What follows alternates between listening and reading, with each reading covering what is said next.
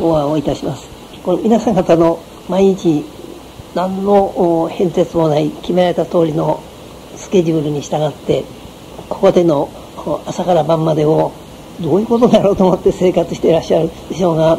実ははっきりしたそこに生活というこの大事な社会の中の皆さん方のこういう場所での在り方がここなりに定められたその通りに皆さんが実行なさる生活その窮屈で不便で面白くないという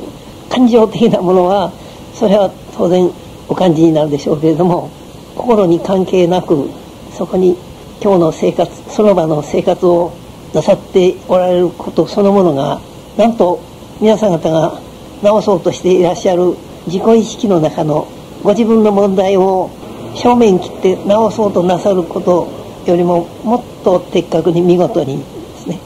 十分完全に解決し去るというこの事柄がですね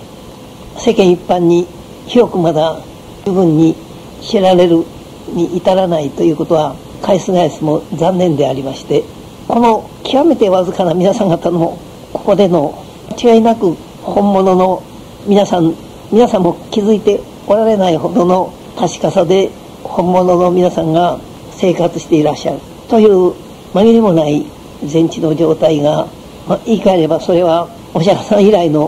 ほぼ2500年もの長い間にわたるインドから、えー、中国朝鮮半島を経て日本に及ぶですね。この長い道のりと合わせて気が遠くなりそうな話でありますが本物というのを真面目に求めてはっきりさせようとする人のたどりきたったその道の皆さん方はもうそのゴールにいらっしゃると言ってよろしいですね。もし私がここで直すということにはどういう方法がありどういう難しい点が待ち構えておりと何日ぐらいしたらそれがほぼ実現するという予測であるなどと申しましたらですねまるで大風呂敷を広げているようなこの話がなお一層広がっていつになったら治るのか全く見当がつかないですね。それが今日最初から治るというその見当が見え見えでどなたもさあいつになったら退院できるだろうなどと考えていらっしゃるその暇な考えがいらなくなるんですね。これはもう極めて珍しい貴重な体験と言ってよろしいです。これはその考えが正しく整えられ導かれるというような教わること。例えば学校教育のようにこの指導要項があってそのためのスケジュールカリキュラムと申します。そういう皆さんが治られるのにこれこれこれだけの授業をお受けにならなければならない。これだけの過程を経て次へ進み次へ進みしてやっと到達される。それが全知である。などと外の教育のようにですね皆さんの優れたお知恵を外へ発揮する場合のような計画が診療計画としてありますと治らなくなってしまう、ね、私のように森田先生の教えをよく守ってとかいうようなことを賛成会でも言う方がおられたんですが私より年上の方で今はそんなことお一人も言われないでしょう。それだけ皆さん肝心なことがよく分かっていらっしゃったんですね。これは教わるのと違ってつまり知的な授業ではないですね。それから試験がないですね。皆さんがどれだけよく理解されたかということを折々テストするというようなよく分かっていらっしゃるかまたよく覚えて、いてくださるかそういうことを私が時々試験をして試すというようなことを何もいらん。つまり頭に関係なく治るんです。皆さん方がお考えになっているそれは常に周囲の環境のこの場所のことでありましてそこに繰り広げられる毎日同じように見えますけれどもいろいろなこの状況の変化がそこに新たに加わっているこの日常それが最も生き生きした皆さんのお姿であるんですね。えもっと考えたのでない本物を申し上げれば最も生き生きしたものっていうのは、まあ、例えば皆さんの心臓が朝から晩までそして夜中までドキドキしていると。いうこの事実からしてもですね頭だけが本物探し本当の自分はこんなはずはないなどと本物を探しているようなそういう暇仕事をしているわけでありましてですね体はえつまり考えることに関係ない部分におきましては見事に毎日を生き生きと働いている。体が働くっていうのは言い方がおかしいとすれば例えば耳は音をよく聞いている。目は物をよく見ている。これはもうとてもすごいことでありまして昨日の新聞にアメリカでの研究でモグラがですね長い先祖代々の地面のその真っ暗なところの生活で目が衰えてしまったんですね。視覚というものが全く働かない。どうやって食べ物を探しているのかを実験で調べたところですね。ミミズの5ミリほどの切ったものをモグラの前右とか左とかですね。置いた位置でモグラにどういう行動が起こるかを見ますと目が見えないのにこの離れたところから間違いなくその餌の方に向きを変えていくというその実験が写真入りで出ておりましてそういう具体的な目が見えない場合のその代償代わりとして嗅覚ですね鼻の感覚がもう他の動物と比べ物にならんくらい敏感に発達している。そういうことが、えよくわかるんですね。これはモグラがそんなにも考える力を持つのでない見るのでもない。そして鼻の感覚を頼りに餌を基地の中で探しながら生活をしているという姿が、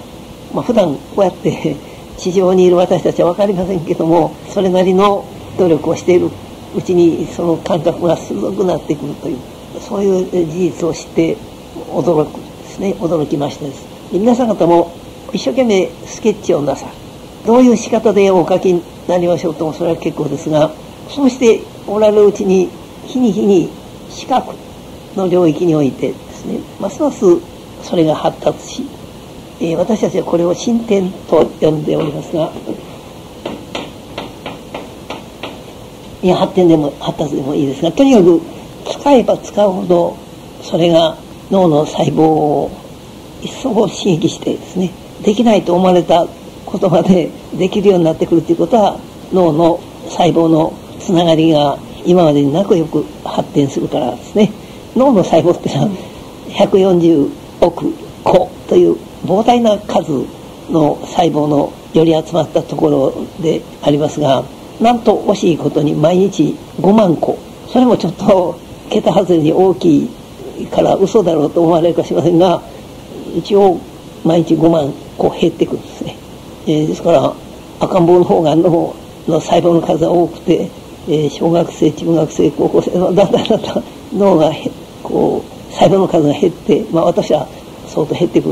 る。どうなりますか、まあ、それは脳の一縮で分かりますね。脳がこう小さくなってきて外の頭蓋骨頭の骨は大きさ変わらないですから中だけ減ってくると隙間ができてくるんですね。その外の骨と脳との間の隙間あるいは脳がこうひだがありますがそのひだのくぼみが大きくなってつまり脳の実質が減ってくるんですね。でそれで分かるのです。ですからどんどん皆さんは使い惜しみなく脳を使いになるしんどいなとか思いながら面倒くさいなと嫌がりながらもどんどん使いになるんですね。それがよろしい。ですから絵は誰からの絵などに関係なくお描きになる。そして進展をする視覚というものこれを大いに発展させていらっしゃるとよろしいですね。ですから書かないでも視覚見ることは働きますけれども書けばますます発展する。すね。そういう点でこれを視覚だけでなく生活全般についてお話しいたしますならですね。普通に生活してても済みますけども本気で皆さんのように作業をなさればその今取り組んでいらっしゃる仕事においてその脳の働きが進展する。んですね。京都大学の昭和30年代の頃の総長でした。平沢光という先生光は起こす復興するという光一時です。解剖学者でありましてですね昭和20年代に一人小児科の教授が総長になり30年代にまた一人その解剖学の平沢光という先生が総長になった。その時に人間の脳っていうのは毎日よく使っている人でもせいぜい5分の1しか使ってないと。先生はよく言われましてですね。あとの5分の4もどんどん使ったらいいんだと。そう言われて皆さんもこれ、えー、話半分にお聞きになったにしてもですね1日5万ずつ減っていく自分の脳をそれに任せて使わずにいらっしゃるではないのでしてどんどん一方ではよく使っていらっしゃる。ということは極めて大事ですね。それがここではできるということです。でよく自分のしたいことだけしているというそれさえもこの神経症の時にはしたいと思っててもできないなどと嘆くことになりますけれどもそういう自分の能力あるいは意欲ですね。そういったものを嘆いているところに止まるよりはですね自分の心にかけないまあ、いわば人が、ま、私がこうしてください皆さんに注文をつけて第2期も第3期もそうですねこうしてくださいというこの生活のスケジュールは全て人から無理やりに与えられたものこの特に第二次大戦後は個人の意思というものを尊重するあまりしたくないっていうことを押し付けがましくさせることを遠慮する風潮がありましてですね。おそらく脳の発展は惜しいかなですね。その十分うまくいかなくなっただろうと思うんですね。その研究でも自分のしたい研究をどうしてもそういうことになってしまって昔こんな言葉を思い出していただけるかどうか親方のところへ弟子入りをいたしますとですね。その弟子はもう親方のなぜそういうことを言うて自分にそうさせるのかわからんままにもうやみくもにこう言われた通りやっていくという、その現代の仕事の取り組みからしたらですねよく説明を受けて理解し納得してじゃあやりましょうということでいくら先生がこうだああだと言われてもそれが飲み込めないわからない間はもう十分わかるまで説明を聞いてその理解の上に立ってすると、まあ、そういうことは何もおかしくないことでありますけども昔はその徒弟制度と言いましてですね指導者には分かっているのでしょうけども弟子は何や分からんなと思いながら言われた通りしないと怒られるようなものですからもう、まあ、むちゃくちゃにやってたと。それは批判されるべきことであるでしょうけどもですね。ところが自分のこのしたくないと思ってることを無理やりにさせられることでそのしないで終わったかもしれんことがたくさんできたんです。自分のしたいことだけしてたんですとその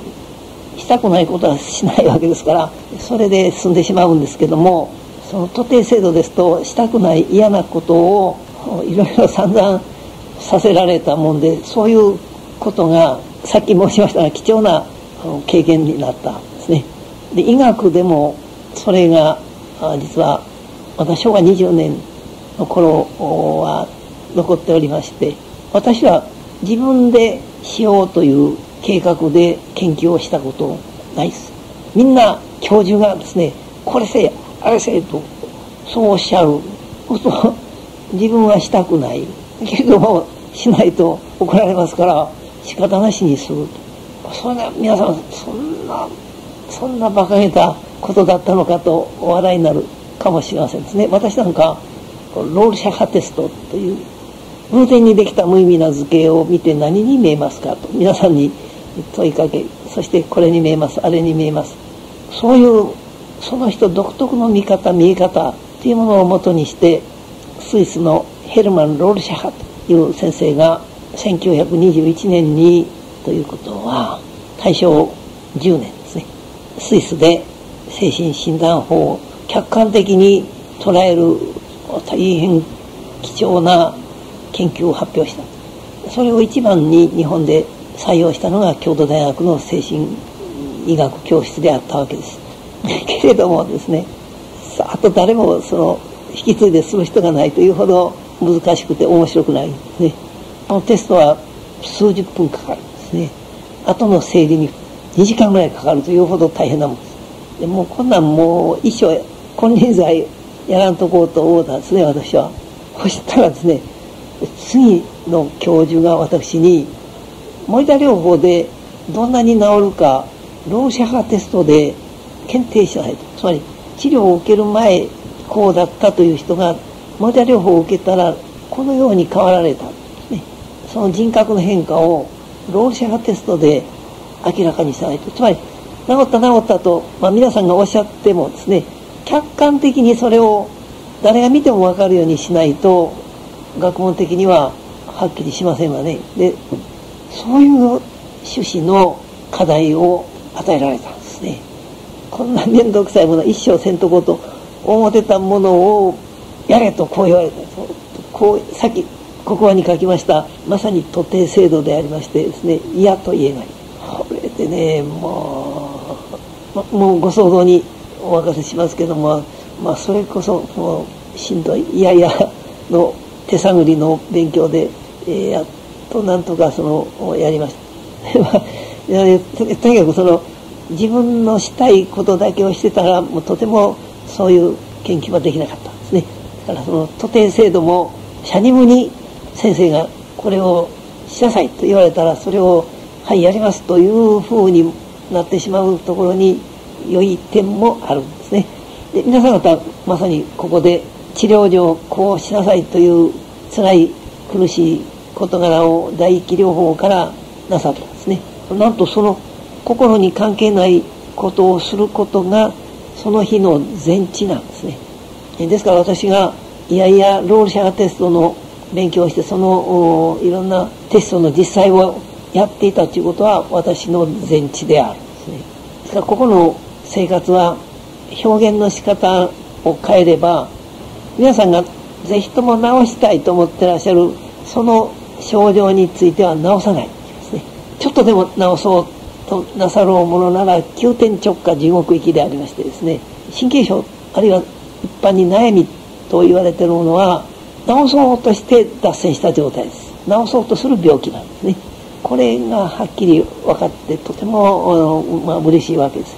ですから森田療法のあるがままって生ぬるいな。もっとあっさり薬を飲んでスカッとできんか？とこう皆さん思われるでしょうけれどもこのあるがまま以外にありようがないです。心っていうものは自己意識ですね、えそれくらい大事なものでありまして心に関係ないという皆さんが感じ思っておられる事柄それから外に向かって必要な仕事にパッとこう移られるにはそのあるがままという意識の在り方がぜひとも必要なんですね。あるがままがなかったら皆さん心に関係なく仕事をする生活をするということができなくなるんです。例えようもない独自のものでいつも使わない言葉を申し上げればですね皆さんにしてみたら宙ぶらりんです。あるがままは根拠がない決め手がない見通しがない。全くそのどうとも言いようのないものですね。それがあるので皆さん方のある気になる事柄についてのとらわれがうまいこと宙ぶらりになるんですね。それでいきなりすぐ必要なことにとりあえず手を出していらっしゃる取り組みがうまくできるように変わられる。あるがままっていうのがないと他の精神療法どれ見ても世界中ないわけですね。人によって300も400もあると言われている精神療法どの精神療法を見ても皆あるがままがないわけですね。非常に宿泊するわけです。というのは考えていることを変えようとしますからね。症状を変えようとするというのはこれはもうまあはっきり言うたらできないことを無理にしようとしている。ね。ですから薬の力が必要になってくる。ところがあるがままっていうものを身につけていると今まで何をどう考えていたにしてもするりとそれと違うものを心に関係なく始めることができるんですね。これはもう大変優れたものでありましてもし本当にそのことがよくわかる人がいたら十分ノーベル賞の値打ちはあるんです。神経症というどうにも治らない難しい難儀な症状をあっさり瞬間的に治してしまうのですからもうおそらく皆さん方以外外の人ならそんなにうまく治るはずがないと思うんですね。瞬間的に治るというようなのは話がうますぎる。そんなに簡単にいくはずはないですね。理屈からしても。ところが理屈があるからそうなる。そううまくいかないのですさだからここのように理屈がない意識の在り方からしたら簡単にできるんですね。それで一番皆さんにとって具合の悪い治るのを妨げる要素はですねもうここまで来たらお分かりのようにそれは筋の通った考えです。皆さんご自分についてのこれはこうだという筋の通った考えが治るのを妨げたんですね。言い換えれば治そうとどこまでも熱心に工夫される。ことになってしまうからですね。もうこの一瞬にして治すことを皆さんがおやめになったその途端にこの瞬間は誠におろそかにするわけにいきません。瞬間っていうのは何がどうという分かる答えを出す暇がない。理屈をこね回す時間というものがない、えー、もっと正しく言えば言葉もなければ論理もない。筋が通らないですね。この瞬間っていうのはよくお坊さんまでも今ここと禅の本にでも書いてありますけどそんなもんでないのでして過去でない今とか未来でない今とかというような限られた今ではないですね。今でも過去でも未来でも何でもないです。決して2つの時間を比べることがあってはなりません。何かある存在するものを皆さんなくすことのように思われるかもしれませんですね。私どもの瞬間的な全知っていうのはあるものを存在するものをなくすことではなくてですねあるとかないとか言葉で表現することをやめるっていうですね何にもその説明のない状態です。これは例えようがなくてまあ強いて言えばこれも正しいとは言えませんけどねこう鏡があるとしますね。鏡をこう立ててで真ん中にまあ、今マイクロフォンがあります。でどっちにもこ右の鏡にも左の鏡にも映りますね。でその右の鏡に映ったのが左の鏡にもまた映るんですね。ですからもう限りなく映り映り映り合ってずーっとこう広がる広がるというかそう遠いところまで。というふうな、うん、格好になるんですね。ところがちょっとこう外しますとですね鏡と鏡が平行に立っている。その間に、まあ、空気はありますけど、まあ、とにかく形のあるもの色のあるものは何もないですね。そういう状態に例えられることがあるんです。ここに当然言葉も文法も入ってきません。文字が入ってきませんですね。それでそこに組み立てられるものがない。こういう状態それがあるがまま。の最も徹底したものでありましてですね早い話がこれが自分だと思ってらっしゃるそれ自体そこから脱線が始まることは確かですがそこから生まれてくる描かれた皆さん方の信じて疑われない自分の姿っていうものは皆さんはそう今そこにいらっしゃることはこれは間違いないですけども考えておられるものは全くの虚構でありましていくら自分のことは自分が一番よく知っているんだとそうおっしゃったとしても自分のことを明らかにすることができないんですね。どこまで行っても何者かによって見た自分というものだけがそこに浮かんでこれが自分だと言ってるのは見られている自分だけに過ぎないんですね。見ている方は絶対わからんのです。ですから人間全体を中から見通すことはできません、ね、考えた自分こうだろうと思った自分というものがそこから解決を図ろうとするということはもう出発点から間違いでありますのでこれからの皆さん方の真面目に取り組んでいただくもの課題としてはもう決して良いものではないですね。ましてその脱線した自分がどう生きるか。世間の人はそれを非常に大事なテーマであるように思いますですね。これはそういう人生論。これはもうことごとく虚構の上に組み立てたものでありますから。つまりこれが自分だっていうものがもう本物でない。その上に最もらしく人生っていうものを描いた。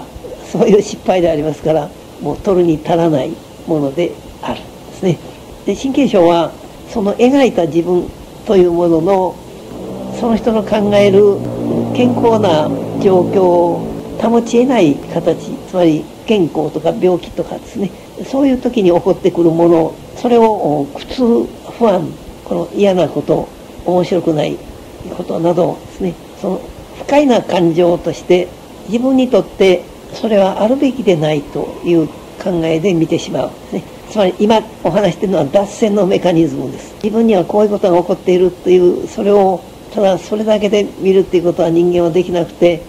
必ずやそこに好き嫌いが出てくるんですね。自分にとって好ましい自分あるいは自分にとって嫌なあ自分。そういうのを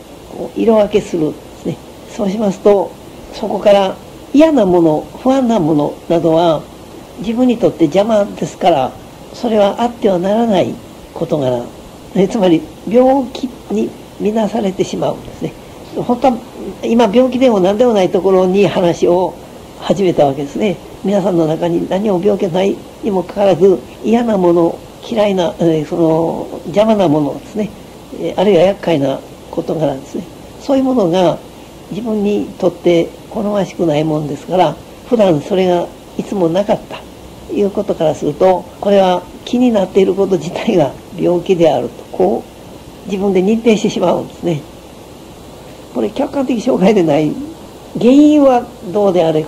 病気になっているという見方自体がおかしいですね、えー、どうか皆さん方も健康人としての絶え間の生活をお続けくださってですね、えー、どこまでも病気治しという客観的障害のある病気を治すのと同じ努力をなさってはいけませんですね。でこれで皆さんもはっきりお分かりになったかもしれません。私どもが治さない傾向ということをやかましく申しますす。ね。治そうとする病気であるということを申します。それは治そうとしてそこに初めて病気が起こってくる。病気があるから治そうとするっていうのは普通の考え方ですが治そうとすることによって病気が成り立つんで治そうとしなかったら感覚や感情の揺れ動きがどうであろうとそれは健康のうちなんですね。健康人としての生活が外向きに本来の姿で発揮されると。そういう時はもう瞬間的に全治する以外にない。ですからまず病気と認定するか。あるいは客観的には何もないが主観的にだけ病気と感じているに過ぎんというふうに認定するかでそこのところで、うん、話が分かれてくるんですね。これまでの取り扱いの例皆さん新聞などでご覧になってるかしれませんがうつ病の場合に労働災害というふうに認められた例があるんですね。それは客観的障害本当の病気ですね。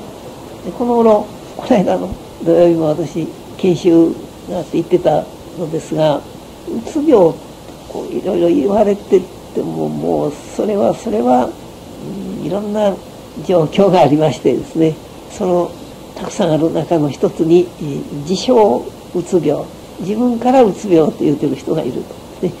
気分が憂鬱になったらみんなうつ病だとこう世間のうつ病についての関心が増すと同時にいろんなそのうつ病でない人もうつ病だと思ってしまう。という場合があるんですね、えー、そういうことはさそういう素人さんには無理鑑別は無理かもしれませんけれども実際にはうつ病の本物とそれから憂鬱で辛い苦しいという気分を指してうつ病と思って自分でその気になっているというのとですねそこははっきり区別しなければならないんですね。そうしますとここにいらっしゃる皆さん方は起そうとする熱心さのあまりその取り組みがご自分のイメージに対してのやりくりであったんですね。ところがイメージ自己像というそれが実は全くの虚像であってですね本当にそういうものがあるのではない。あるのは生き生きした皆さん方ご自身としては 間違いないんですけども一番問題になるのは考えですね。自分の姿を皆さんが考えてらっしゃる。それだけは余分なものなんですね。もう一番皆さんに申し上げたいのはこれが自分だという自分についての認識ですね。これが一番邪魔してるわけですね。それを決めなかったらこの問題はもういとも簡単に瞬間的に、えー、解けまして治らないでいらっしゃることはできない、えー、モニター療法っていうのはどうしてそんなにうまく早く治すのか言ったら治す問題から離れるからですね。取り組みから皆さんを離してしまうからですね。自分を相手にしないあるいは考えによらない生活を直ちに皆さんに始めていただく。それで一般に治そうとして治らないと言われている神経症をその瞬間に実に見事に治る治らんの問題から離れて全てのことに関係ないただ生活する人としての皆さんがそこに現れるという形で全知が起こるんですね。森田先生もう最終的に何とおっしゃったか。ただ働くだけですと。そう言われたという伝説があります、ね、これは、ね、本当に素晴らしいことです。で自分がどうであるかということを問わないんですね。これはなかなか世間の人の思いつかないことです。はいそれでは今日の講話はこの辺で終わりといたします。